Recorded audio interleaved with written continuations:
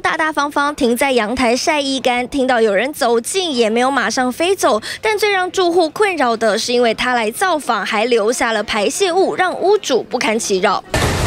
参考网友提供的驱鸟办法，住户在阳台挂满红色塑胶袋，却完全没用。白头翁依旧天天拜访，留下秽物，这快把我烦死了。我就是晚上回家的时候，就会发现又多了很多鸟屎。可是我白天没有办法赶那些鸟，我衣服可能会放个两三天才收进来。我现在就是晒一天干了就马上收进来，因为我怕隔天就是会有鸟屎。实际来到阳台查看，从地上、露台，甚至塑胶袋内都有白头翁留下的痕迹，甚至晒衣杆上还有羽毛，让住户丁小姐。相当无奈，因为在北市南港区这处公寓四楼套房已经租了两年，最近半个月才碰上这种状况。尝试挂樟脑丸、红塑胶袋都没用，疑似是附近有野鸟筑巢。电线杆上面呢，它搬出去直接飞到飞到地上来来找东西吃了。自己过来筑巢这样？对啊对啊，很久两三年了。实际询问当地居民，的确这两三年白头翁来附近筑巢生活。也有专家分享，可以在阳台挂反光片制造声响，或在屋檐放鸟刺。让鸽子吃避孕药来达到驱离效果。鸟兽在你的周边环境活动，